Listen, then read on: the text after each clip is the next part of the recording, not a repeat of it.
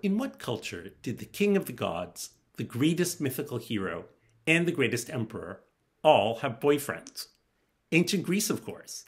So come with Oscar Wilde tours on the LGBT history and art tour of Greece, from Achilles to Alexander and beyond. See this beautiful country and its amazing sights, from the Acropolis at Athens to the Temple of Apollo at Delphi to the stunning white villages and turquoise seas of Santorini and Mykonos and learn about their often hidden LGBT backstories from world expert guides. With superb hotels and Greece's excellent food, September 25th to October 4th, when it's still beautiful, but not as hot and crowded as it is in the summer. And get $200 off if you book before June 15th.